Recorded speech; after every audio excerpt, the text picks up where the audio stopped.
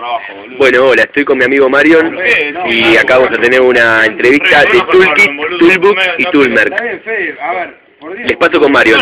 Hola Marion. Hola, no sabía que estaba filmando. ¿Qué tal Marion? Yo te quiero hacer algunas preguntas sobre software y hardware. Pregúntame, yo tengo un amigo que sabe un montón de hardware. Él me contó todo lo que sé. Voy a tratar de ayudarte en todo lo que pueda. Bueno Marion, a ver, contame, por ejemplo, ¿de qué se trata el Toolkit? El toolkit es una herramienta poderosísima. ¿Qué, otro nombre. Bueno, pero contame más, ¿para Disculpame, qué? disculpame, tengo la glucosa.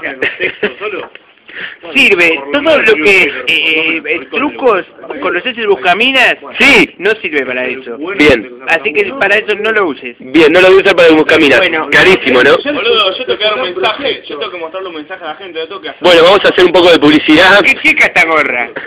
Bueno, el toolkit es todo lo que significa, o sea, te voy a traducir las palabras.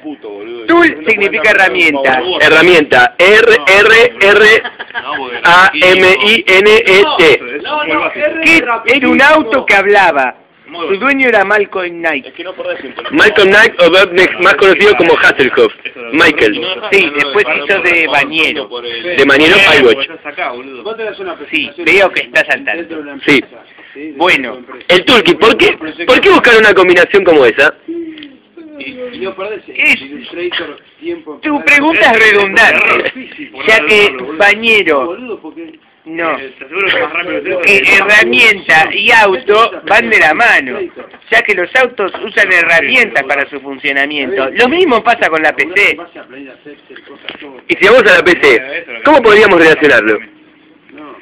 Significa que para que una PC funcione correctamente, uno tiene que usar herramientas, ya sea el toolkit, el toolkit o un- una mano amiga.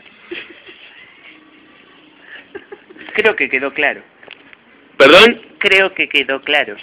Gracias, Marión. Volvemos con ustedes. No, gracias a vos.